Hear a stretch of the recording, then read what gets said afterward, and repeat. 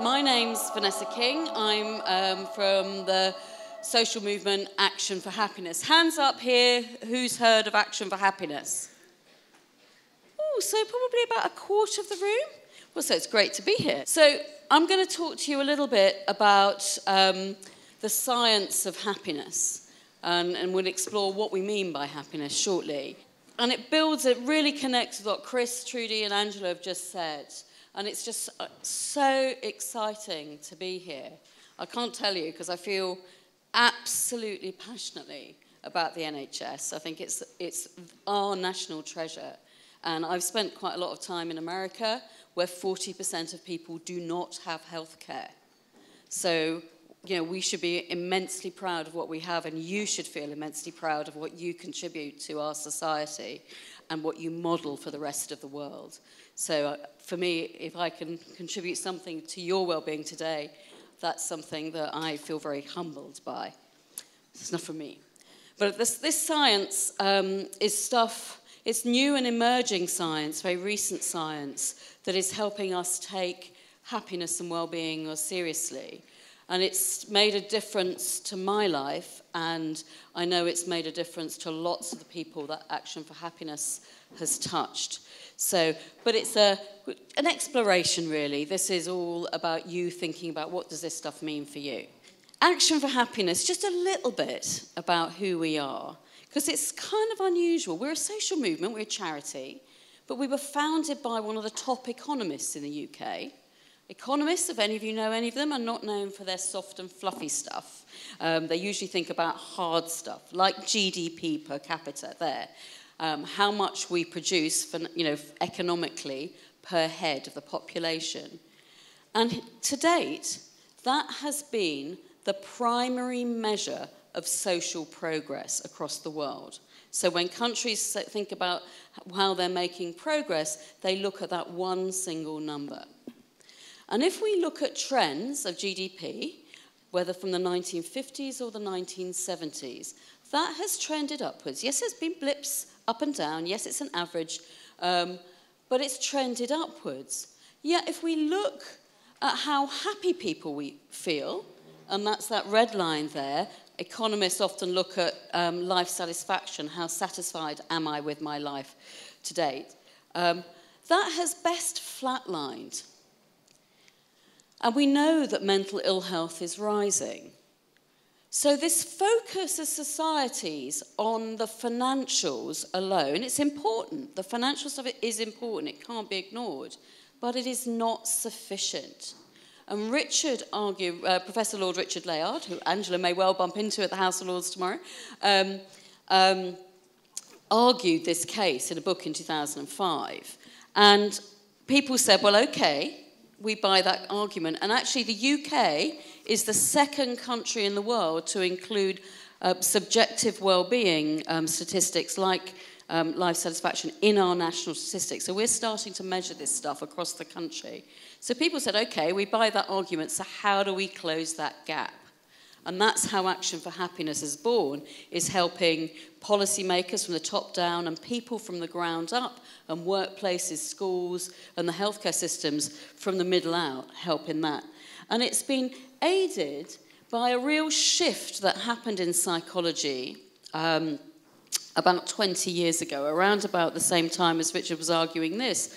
The psychologist, eminent psychologist who'd really um, influenced the way depression was regarded and treated, Martin Seligman, who I studied with, he realized that actually what we'd done as a society is focus on um, in psychological research, we'd focused on zero to the minus side of the spectrum.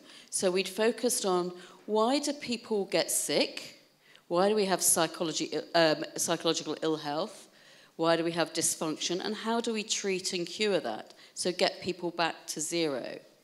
But psychological research had not focused on how do we actually increase people's psychological well-being, their psychological fitness, if you like, and that, which enhances their experience and quality of life, and actually builds resilience to um, ill health. So, in the last 20 years, research in this area has exploded. And that's a little bit about what I'm going to share with you today. Some, give you a little introduction and some signposts into how you can find out more. But before we start getting into that, what is happiness? I mean, how many of you, if I said to you, you know, what do you ultimately want in your life? If you had to choose one thing, what would you choose? Or if you've got kids, what do you want for your kids? How many of you would say, well, I had to choose one thing? Well, I kind of, I don't want to be happy, or I want them to be happy. Hands up if that's what you'd answer. Most of us, most of us. But how much time do we spend thinking about, well, what does happiness really mean? And what does it really take in terms of the way we live our lives? So let's just who knows. Well, what does happiness mean to you? Shout out some things that when you think about happiness, when you really think about happiness, what does it mean? Shout out a few, few things. Contentment. Some doing things you enjoy. You're having things to aspire to. Joy. What about down here? Achieve, did you say? Feeling like you're, making, you're achieving things? Other things? Laughter. Laughter. Connected. Did you say somebody say connecting with people? Pleasure. Yeah. There's a whole lot of ingredients that go into to how happy we feel. And this is in a, in a, in a presentation on happiness, you have to have a picture of a Buddhist monk. This is the only one. Does anyone know who he is? This is Matthieu Ricard. He's a former biochemist or biogeneticist or something um, who became a Buddhist monk. And he's said to have the happiest brain on the planet. He hates being told that. But because um, a lot of the early neuroscientific studies on the effect of meditation on the brain were done on his head, and his brain is very different to our brains, the condition of his brain. So um, that's Matthieu Ricard. But he describes happiness as more um, than a sort of fleeting, pleasurable feelings, but a, a deep sense of flourishing or an optimal state of being. And I like that word optimal because it takes a, into account the sort of dynamic nature of it. The ancient Greeks talked about two sorts of happiness. They talked about hedonia, which is pleasure, which is where the word hedonism comes from. And whilst you can have too much of a good thing, a little bit of a good thing, as we'll explore shortly, actually does us good. But they also talked about a different sort of happiness as well. They had the two in parallel. They talked about eudaimonia, which is a sense of fulfillment, satisfaction, feeling like you've lived a good life. So you maybe you've worked hard towards aspirations, um, you've achieved um, goals, you've worked hard towards having a, a, a happy, healthy, well-connected, you know, well. Um, um, good relationships with your family, etc. And actually working towards those things that give us that sense of eudaimonic well-being or fulfillment doesn't always feel good, does it? Sometimes it's bloody hard work and a struggle, yeah. And that's where some of the, the two types of happiness working in parallel really helps because sometimes having little drip feeds of ple more pleasurable moments of that type of happiness or joy along the way can help us um, towards the sort of a, life, a, a feeling that we've lived a good life, a sense of long-term fulfillment. So in short, um, when we talk about happiness, we talk about a mixture of those two things. It's a blend of those. We might talk about, and I use the word happiness, psychological well-being, and even resilience interchangeably because they're different. They're all different sides of exactly the same coin. But in short, I really like, you know, we could talk a bit about how do we get ourselves into a state where we are on balance, functioning well, and feeling good. So that's the sort of shorthand. So where are we going next? There we go. Um, and as I said, research in the last 20 years has exploded in thinking about why does this stuff matter? Does it matter? Um, and what are the ingredients of well-being? So let's think about how does feeling happier, feeling psychologically well, affect our physical health? So we know that people who are happier are significantly less likely to catch a cold. They're less likely to have cardiovascular disease. They're more likely to take care of them, their, uh, their health. They're even more likely to live longer. In fact, some studies have suggested that people in the upper quartile of, of, of sort of emotional levels of high, you know, sort of emotional sort of happiness um, live on average 10 years longer than people in the lowest quarter. Bearing in mind that not smoking gives you an average seven years life expectancy, makes you think, well, huh, maybe there's something we need to pay attention to here. What about at work? Um, we know that doctors who um, are in a more um, upbeat mood make faster, more accurate diagnoses. We know in causal studies done in, um, of work type conditions done by economists at Warwick Andrew Oswald and his team found that people who were happier were 12% more productive with no loss in quality. We know that organizations that pay attention to this stuff, and this is the 100 best companies to work for, if you invested in those um, their shares 26 years ago, you would have had your returns would have been 3.8% higher than the stock market average year on year. So there's a, there's a real kind of benefit to these intangible. And we also know that young people's well-being, um, their emotional health, um, age 16, for example, is more predictive of, of um, good career outcomes and success than, and than academic achievement. So, but it goes on. So there's an advantage to our physical health. There's an advantage um, at work, there seems. But what about bigger than that? What about the societal implications of, of people feeling happier? Um, we know that happier people help others more. We know that they're less likely to engage in risky behaviours, for example, on the road. We're more, they're more likely to be financially responsible. They're even more likely to vote and participate. May not always be a good thing. We know that this stuff is also contagious. How many of you here have been affected by somebody else's mood states? For good or for ill. Some Harvard psychologists and medics, because uh, actually this came from a big study called the Framingham Heart Study, it was looking at health behaviours um, and how those rippled through real social networks. This is a real social network from Framingham, so there's sort of blobs of people. And they found that people's, how happy people felt had a ripple effect out to not just the people they were in direct contact with, but the people those people were in direct contact with and those people were in direct contact with. So how happy we feel, you know, just our state, how we are, has a statistically significant ripple effect out to three degrees of separation. So we are affecting people we have never met, and they are affecting us.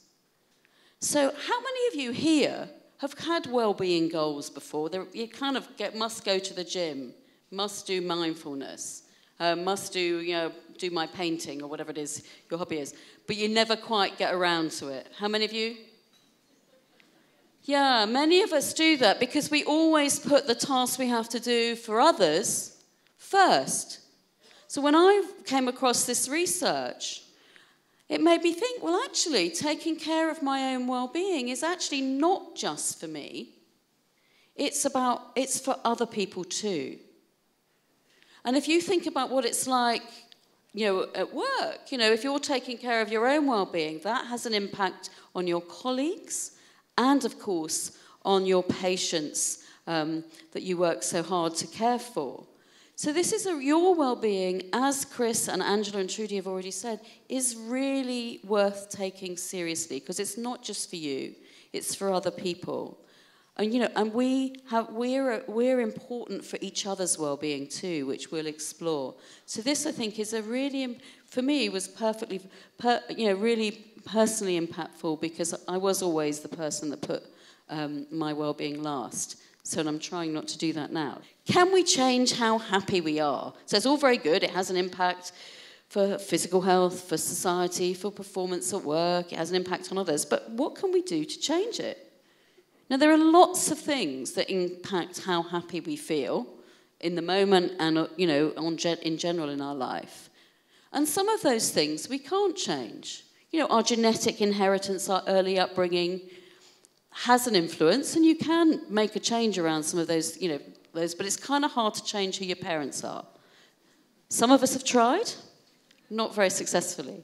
Our circumstances, where and how we live, um, our income levels and things, of course, play an influence.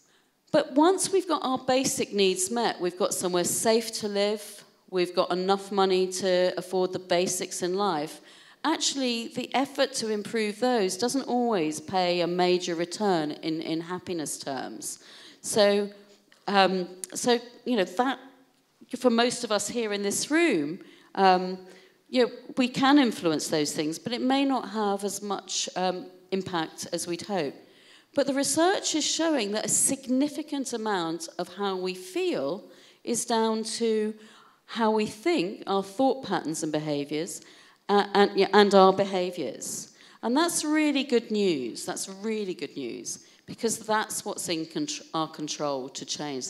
With habit and intention, that's with our control to change. And the good news is the science is also showing that you can indeed teach old dogs new tricks. When I first studied psychology a few decades ago, um, my first degree was psychology um, and biology. Um, it was thought that your brain was pretty much fixed by um, your early 20s, and it was all downhill from then. You couldn't really learn anything very much new, and that's been totally disputed um, now. And we know that um, many of you will know this that our brains remain plastic, you know, changing um, throughout the course of our lives. And yes, there are periods when it's super plastic, but we can all learn new things. So, what can we do that makes a difference? So, which is what today is all about. So, what I did when, for, when I, have been involved with Action for Happiness, I'm on the board um, and I lead on the psychology side and the workplace side, in fact. But when we started, we know that we needed to tell, you know, share people. The name is about Action for Happiness, is about doing stuff. Um, what do people do?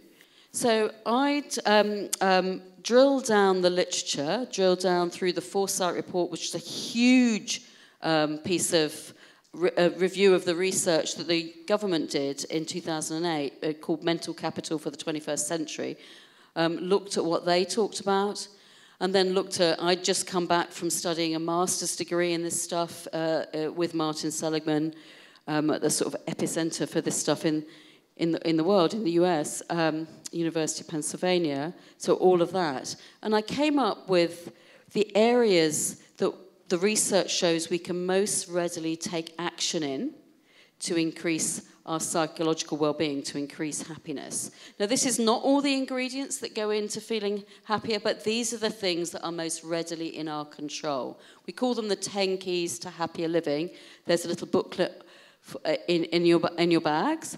Um, and just a little bit about that. Beneath each of these, they may seem deceptively simple. Beneath them is a wealth of evidence and a wealth of evidence-based interventions you can try, but that's just for ideas.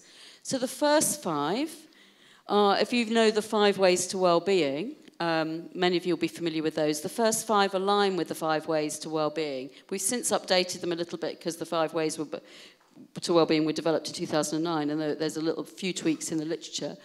Um, but those I tend to think of things that we do in the outside world that affect how we are on the inside.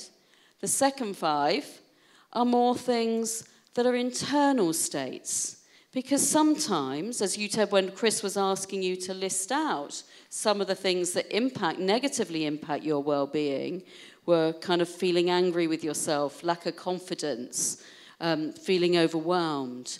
Those sorts of things are more internal states that affect how we are in the outside world. So I tend to talk about this as an um, outside in, inside out um, model of well-being. So it's interesting to think about those. And there's actions we can take in all of those. But most importantly, I want you to think about this as a menu. It's not a prescription.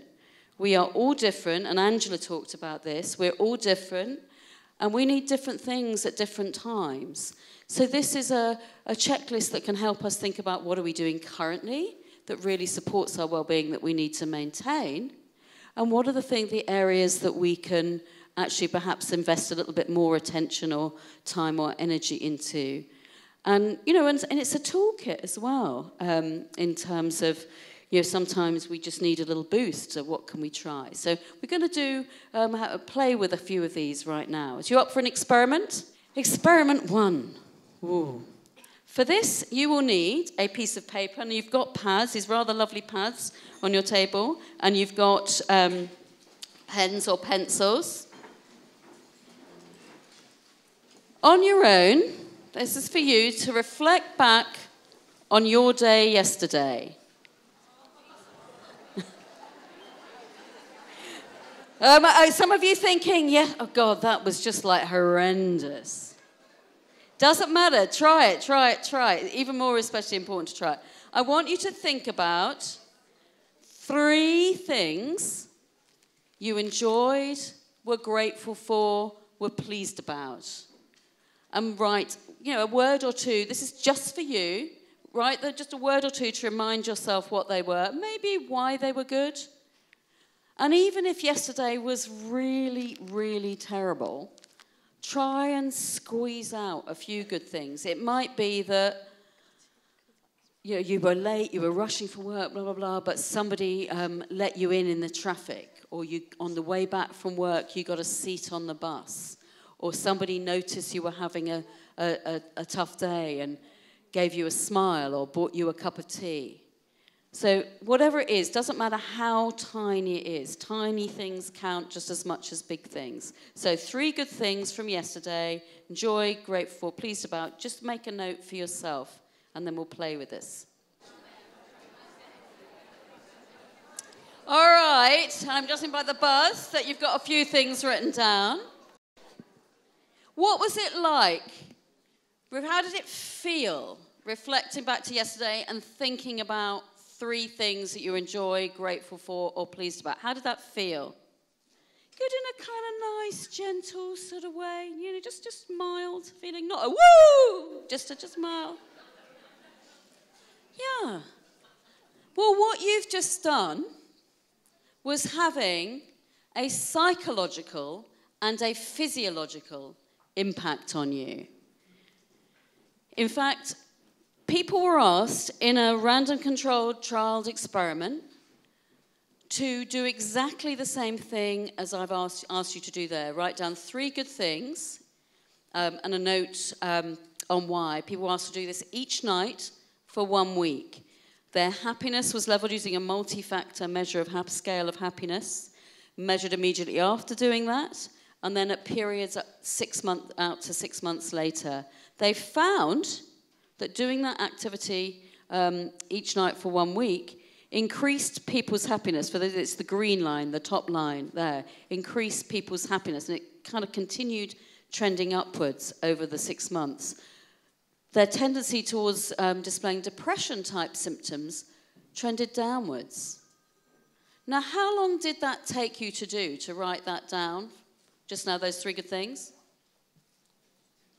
Maybe a minute, maybe two. Multiply that by seven it's in this experiment. So maybe 10 to 15 minutes for one week. That's not a bad return on investment, is it? Why did it work? Why did it work? Somebody say that? What is? Why did it work? You're concentrating on the positive, absolutely. Other thoughts? You're bringing back the memories. Other thoughts over here? Do we have any thoughts over there? You're reliving the happy moments. All of those ideas are right. Could we click on?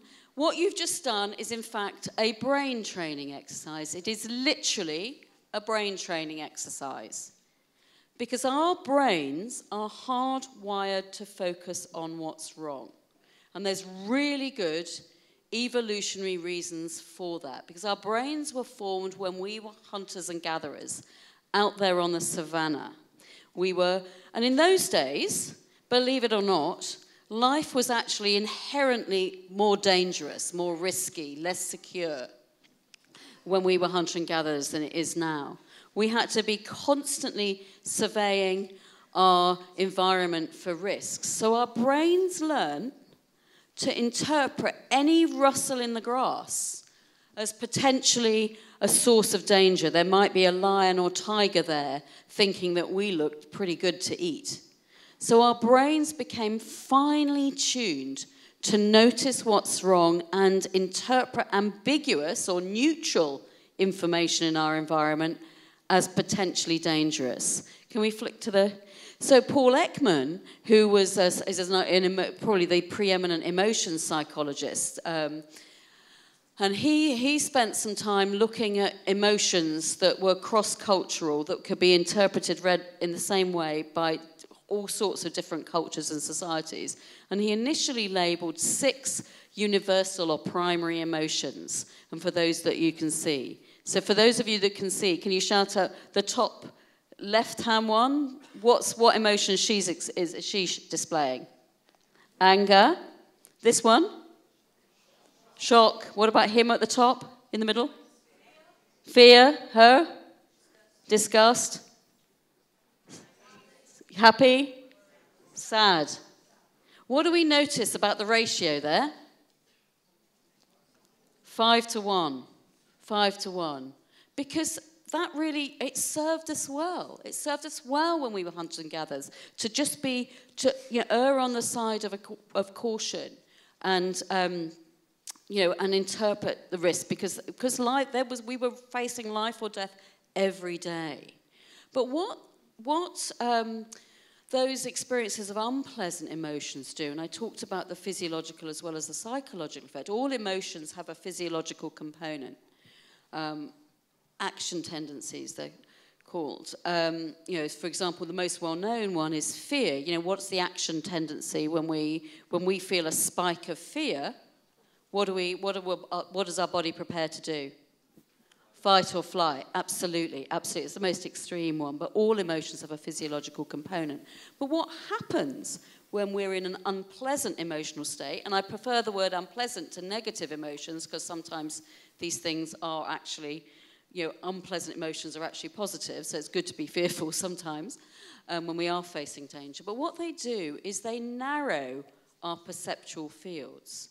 Because if you've got a source of danger, if you're a hunter and gatherer and you've got a kind of hungry lion hurtling towards you, you do not want to be smelling the roses. You want to be damn focused on that, on that lion so you can decide how best to act to keep yourself safe. Our brains are designed to keep us safe. So um, unpleasant emotions narrow our perceptual fields. Um, but what psychologists in the last 20 years have found, and this has been led by um, Barbara Fredrickson at University of Chapel Hill, um, North Carolina, and she's a psychobiologist. She has found that when we're in a pleasant emotional state, the opposite happens. Our perceptual fields are literally broadened and opened. So when I first studied psychology, it used to be thought the only emotions that really matter were those ones that kept you alive, like fear. Uh, um, but the, you know, the pleasant emotions were kind of nice to have, but they didn't really serve much purpose. But her research has shown absolutely the opposite. It's a mild, slow build effect, but it has a strong effect over time. So when we're in a pleasant emotional state, our perceptual fields broaden meaning we are more open to other people, we are more trusting from, of others, we recognize people from other cultures better, we are more open to ideas, we see more options, we are more flexible in our thinking, we are um, better at solving complex problems, etc., etc., etc.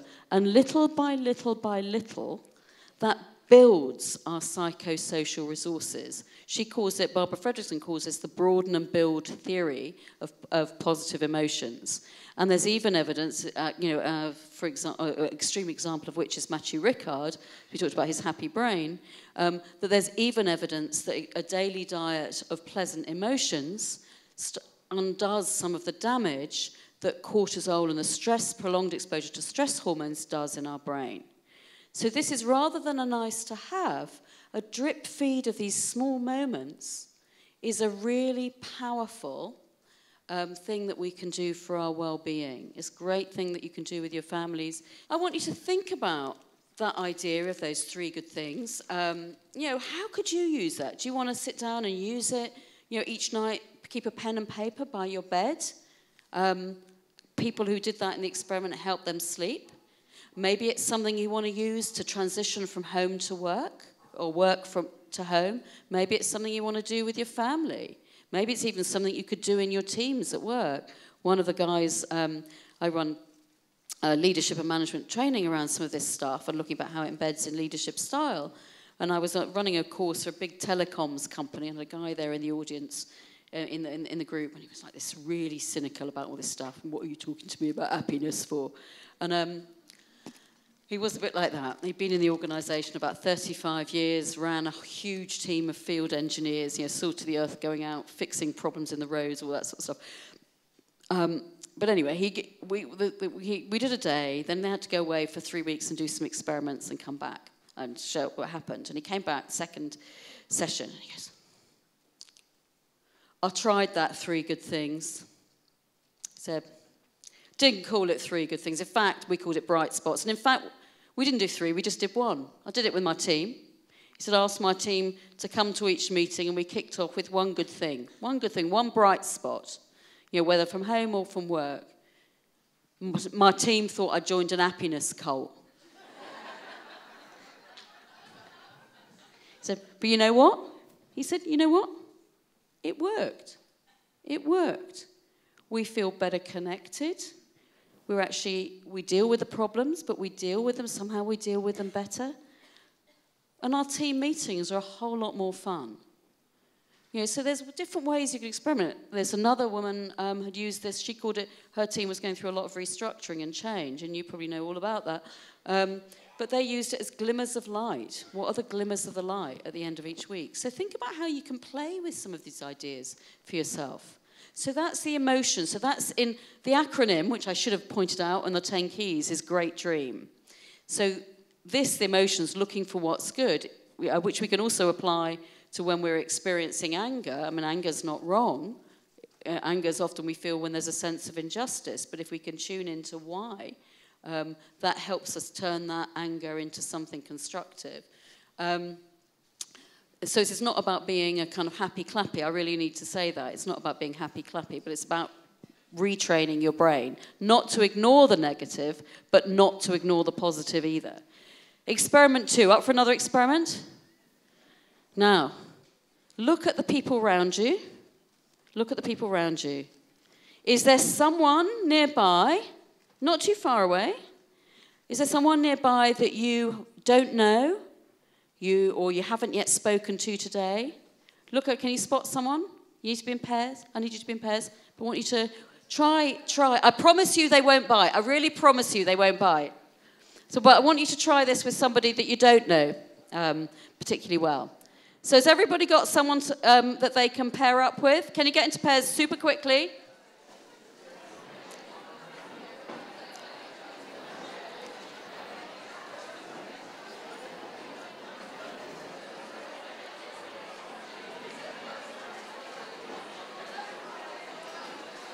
Here's the first challenge. This is really hard. Decide who is going to be A and who is going to be B. Hands up, A's. Hands up, A's. If you haven't got, if you're standing up, you're finding somebody. Can you two pair up? Are you, are you without a pair? Yeah. Hands up, A's. A's. Right, A's. You need, I need you to pay attention to your task. Your mission, which I hope you'll accept, very simple, is to quite simply share one of your good things that you wrote down. That's all. That's all. Bees, Hands up, bees, Hands up, bees. Are there any bees over that side of the room? Bees? Your task is to listen to A's good thing, but I want you to listen in a very particular way, in a way that I call active and curious. All that means is when they share their good thing, say they said, Oh, I had a really nice dinner last night, you might say, Oh, a couple of curious, active and curious questions. Oh, you had a really nice dinner last night. Oh, where was it? Were you at home or did you go out? Were you with friends or um, did you cook it yourself? What sort of food was it? You know, um, was it was it a special occasion? Just a couple of questions, two or three questions, and just see what it what you notice. Notice what it's like to share a good thing, what it's like to experience being asked those sorts of questions, to ask those questions and notice what you notice about each other. So, A's, share what a good thing. B's, active, curious questions. Both, notice what you notice. Go.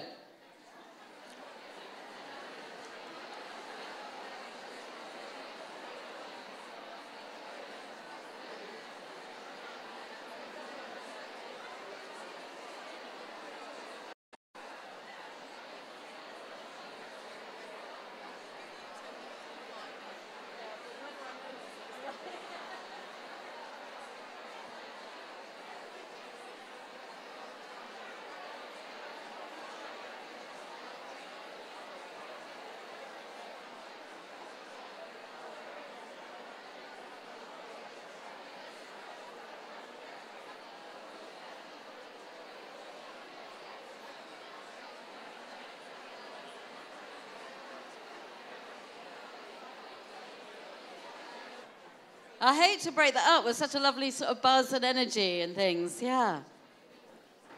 So, what was that experience was like? What was it like to ask a few active and curious questions? What did that feel like? Good? Other things?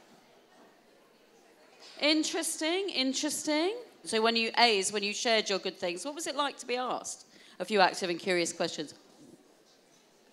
So, yeah? Good? What, what, how, in what way was it good? In what way was that good? Somebody actually listened. It inflated your enthusiasm, so amplified that, sort of inflated you know, how you felt. Other thoughts, other reflections on that activity, both of you? Both A's and B's. It's nice to talk to somebody new, absolutely. Did you feel a bit more connected having done that? Yeah, yeah.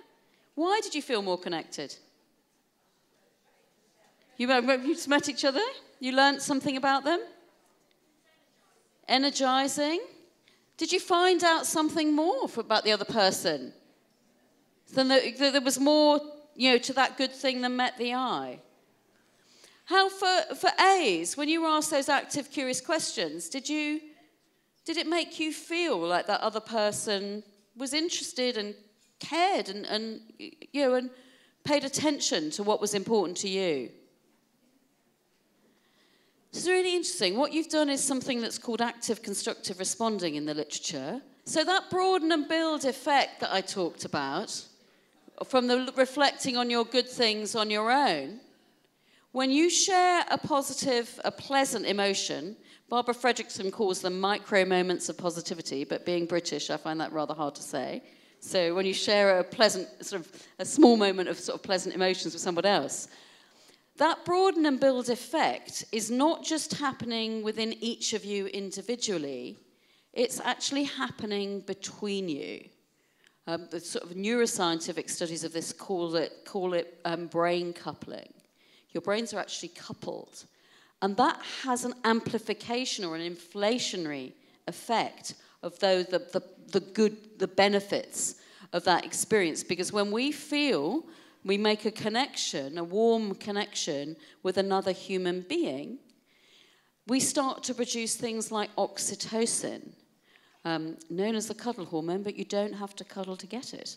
Um, but what, what, what, what oxytocin, one of the fact, things that oxytocin does is it actually helps us to be more attuned to the other person. Um, and, then, and then that then fuels a sort of cycle of more pleasant emotional feelings between you both and enhancing that for you both. So there's a so that might seem a, a nice to have, but actually there's some real powerful science behind that that is really essential for well-being. We know that feeling connected to other people and that may mean different things for different people, but feeling there are people we can connect to, feeling seen, feeling considered, yeah, just feeling seen is a powerful thing for our well-being. That is a um, psychologist called Deci and Ryan um, with huge amounts of research regard our sense of connection to other human beings as an essential nutrient for psychological well-being. I mean, how many of you have walked down the corridor or street um, and you said hello to somebody and they, they've kind of blanked you, you know, because they're in a world of their own. You kind of sort of feel that viscerally, or when you're ignored in a shop or a restaurant, you feel that viscerally. We are acutely sensitive as human beings to feeling part of a group because that kept us safe. We are a social species. And in fact, we know that feeling lonely, and note I say feeling lonely, because it's, um, that means different things for different people, um, feeling lonely is more damaging to our health than smoking or obesity. You are more likely to die of loneliness than you are of obesity. So this is really, really important stuff. And we're all connected. Remember that shared responsibility, that social contagion slide I showed you? We can all say hello, we can all smile at another person.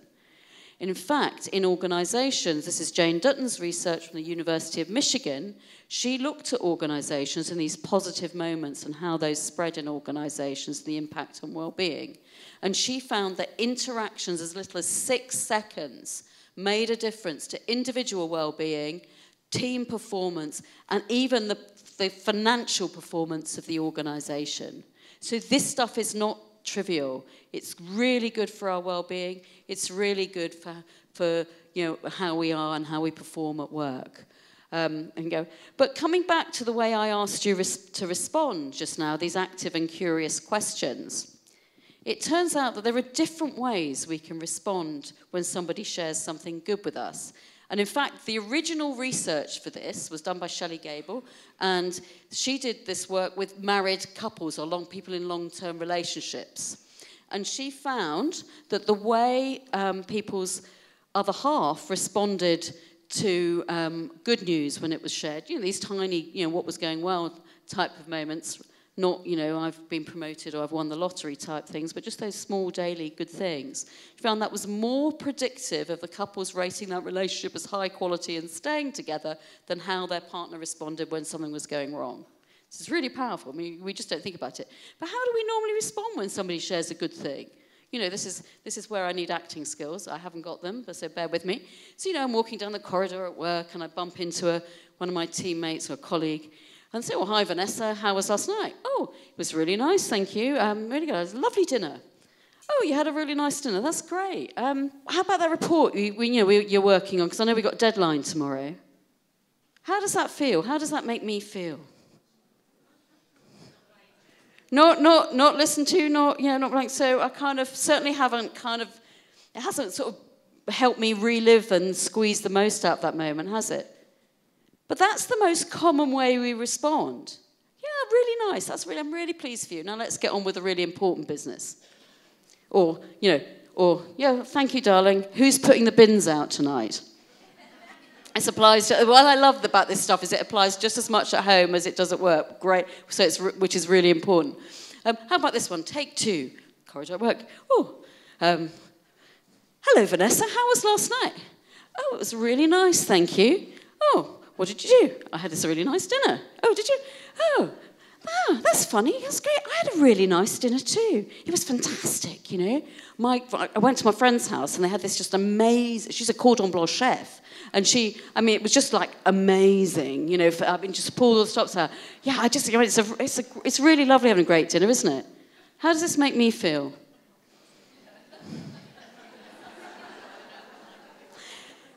But, I mean, yes, we can do that as a bit of one upmanship, but often our intention to responding to that like that is good.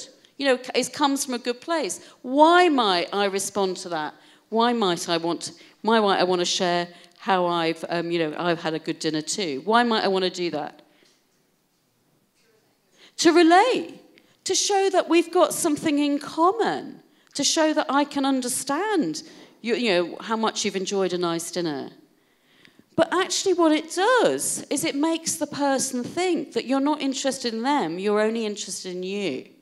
It doesn't mean to say you shouldn't share your connection, but if you can ask a few of these active and curious questions about their dinner, um, not only does that help them feel more connected to you, then you've got more to, to, and they're more open to listening to your good thing, but you then you've got more to connect with. How about this one? This is my favorite one.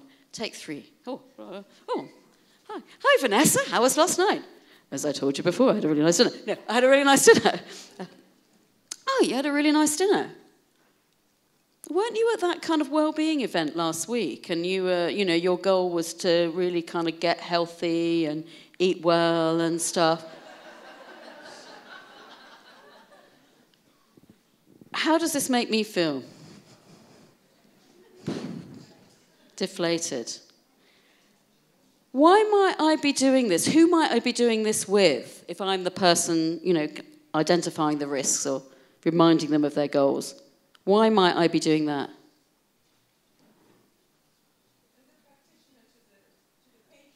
It could be as a practitioner to the patient. What about, you know, with your friends and your colleagues? In all of those, we do often do that with people we really care about. Now, it doesn't mean to say we shouldn't do that, but we might want to ask, you know, find out a few active, ask a few active and curious questions to ask about that dinner before we start identifying the risks. Because what in the literature, that way of responding, and often we do this with people we love most. I mean, maybe those of you who've got teenagers, really this active, destructive way of responding, um, you will be very familiar with that with, te- with teenagers. Many of you probably can think of someone in your life who, whenever you share something good, immediately goes to the negatives. This on Shelley's Gables research suggested that that actively started to destruct the relationship. It corrodes the relationship. It does not mean to say you should not identify risks, but if you can ask a few active and curious questions first, people are more likely to be able to listen to those risks. I mean, like, again, on programs that I've run, I've had people, particularly with teenagers, I mean, people with the couples with a, at work with their sort of teams as well, but um, the, the, comments with teenagers um, struck well. One woman um, a single mom of a, a teenage daughter, um, they were constantly having battles over money because the, the teenager was always kind of frippering money, and um, the mum was always going, Oh, you've got to save, you've got to save. And so they're constantly at loggerheads. And she experimented with this. So whenever her daughter came up and talked about her, you know, next thing she was spending money on, the daughter started to get interested in why. Ask some curious questions. Why? Not sarky questions, interesting, curious questions. And she said that it's just, she said, in three weeks, I have not had a single argument with my daughter. Think of the impact that has on her stress levels and the stress levels she takes to work.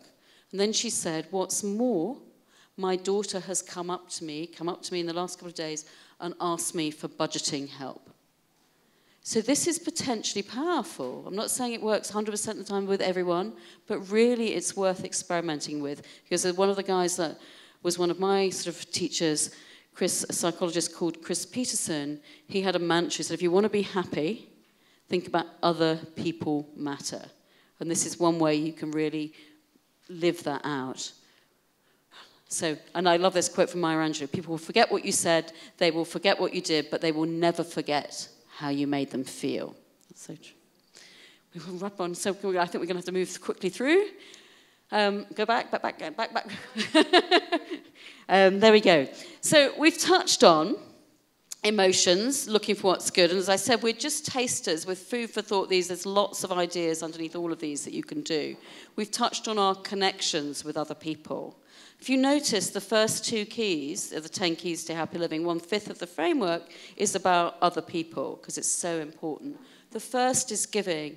And one thing that skill, that active constructive responding does is also give people a moment of your attention. Because how often are we like this? You know, on our mobile phones, yeah, yeah, yeah, yeah, I'll be with you in a minute, yeah, yeah, yeah, I'm listening, yeah, yeah, yeah, yeah, yeah. You know, typing away. We're not listening we're not listening. And that signals, given you know, what that signals to the other person is they don't matter as much as what's going on here or here. So whether you're at home or at work, the actual idea, one of the smallest things you can do to give to others, your colleagues, your family, is actually that good quality attention. You're going to have today, over the course of today, um, we've already, Chris talked a lot about trying things out, as did Angela, trying out and exploring all the different things that are on, um, on offer today. Um, you've got, there's lots of exercise classes. There's a session, I think, on sleep, um, which is really important. Um, so for us, this key is talking about um, not only taking care of our body. This was really powerful for me because uh, psychiatrists, psychologists are now realizing that exercise is not just good for our bodies, it's really good for our brain. In fact, John Ratey, who's a Harvard psychiatrist, thinks that exercise is primarily to condition our brain because it improves our cognitive function, it's protective against all sorts of mental um, illnesses.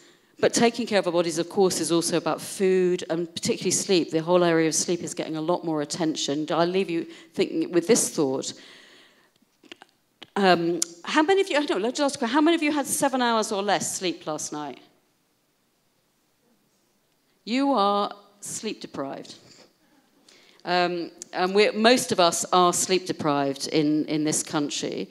And it's a, it has series, Matthew Walker has written a really good book on why we sleep and show the links between lack of sleep and all sorts of illnesses like cancer, diabetes, etc., heart disease, um, as well as psychological disorders. Um, so really important. Driving with four hours too little sleep is the equivalent of driving having had a six pack of beer. We don't, you know, most of us wouldn't consider getting behind a wheel having um, drunk a load of beer, but we wouldn't think twice about doing that having had lack of sleep. It's really powerful. So pay attention to that. Mindfulness, there's mindfulness sessions. That's for us, the awareness.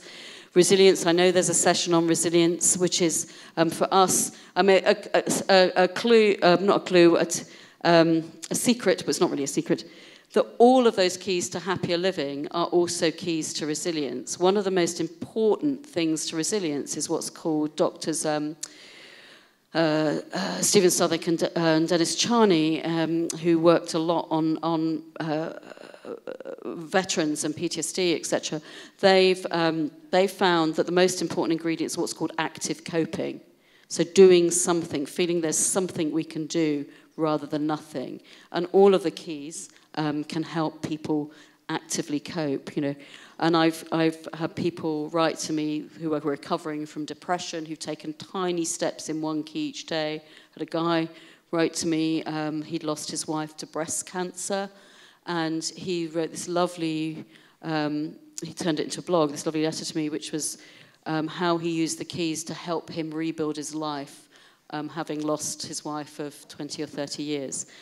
Um, the A in DREAM is all around acceptance. Um, so that's about how we treat ourselves, self compassion. I'm running a session on self compassion. And the last key um, is on meaning.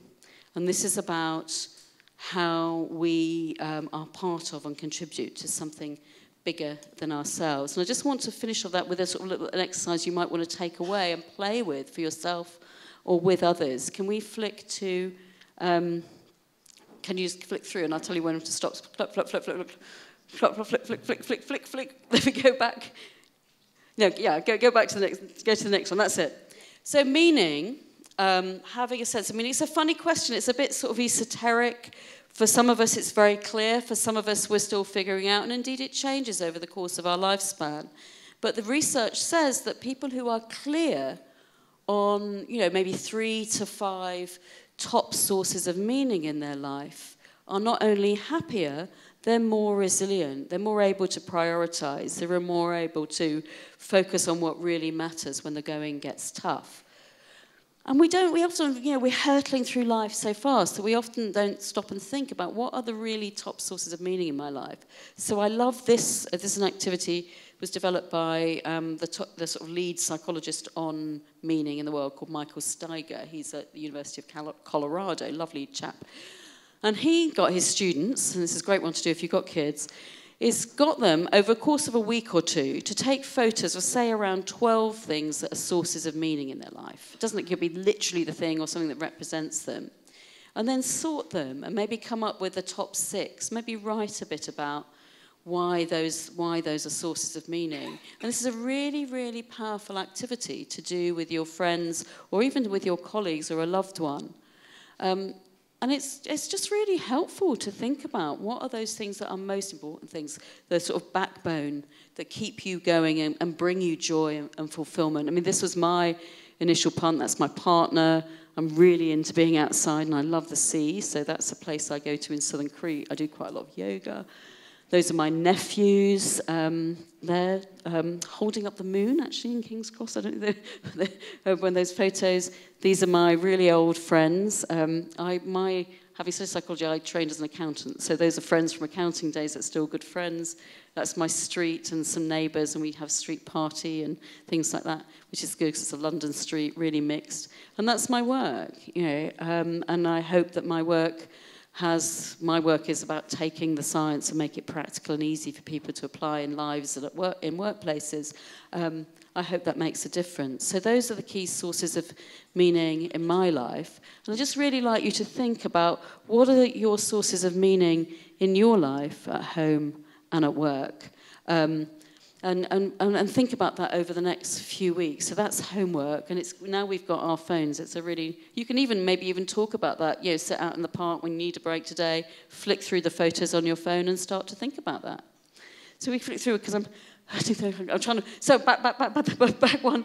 So, I mean, really, we've had a romp through just a taster, an indicator of some of the, the ideas and things that you can play with that are within and beneath this framework. And there's loads more on our website and the book, um, which is based on thousands of research articles, but is super practical. It's not academic, it's very practical um, in there if you want to find out more. But what I love about this science is that it's not about things that take, you know, three hours a time to do or six months. They are tiny things that if we do um, with intention and, and practice over time, that really can add up to a make a big difference. And I know they've made a big difference in people's lives. Um, but the clue is in the name, action for happiness. It's about action. We can talk about this stuff till we're blue in the face, but it's actually what we do that matters. And I know at the end of today, you're going to be asked to, can we click on, click on it? You're going to be asked to think about what actions are you going to take? What are you going to do to invest in your well-being for your, for, for your own quality of life and for the impact on the people around you? Um, Edwin Locke, um, sort of one of the top experts in goal setting, said goals are how happiness happens. So I want you to think about as you explore, as you think about that 10 keys framework, there's a 10 keys booklet in your bags. Think about the 10 keys today. Try lots of new things and think about what are the three things that I could do um, now going forward to, to invest in my own well-being. So I think that's enough for me. I think I'm completely out of time, everyone. Um, there we go. Action for Happiness there, the website's there is tons of stuff there if you want. And actually what's really exciting is David. I can see David in the room. David Smart's a GP. Um, and he's probably, he's lots of other things as well, but I can't remember them. Um, um, and Anne and Angela and things. Uh, Northamptonshire is um, wanting to become a hub for sort of um, Action for Happiness, the first regional hub for Action for Happiness, and really embedding this stuff in a lot of what you do. So I'm sure if you want to find out more, David will um, that and Anne and people, so and Angela. So um, it's exciting. So enough from me. I'll shut up now. Um, have a fantastic day. Make the most of it. Such a treat. So, see you. Thank you.